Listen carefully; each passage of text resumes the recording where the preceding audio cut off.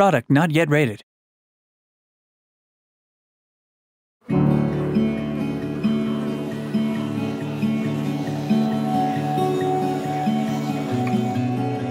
you think things will ever get back to how they were? Yeah. I'm not sure when, but one day. I hope it's soon.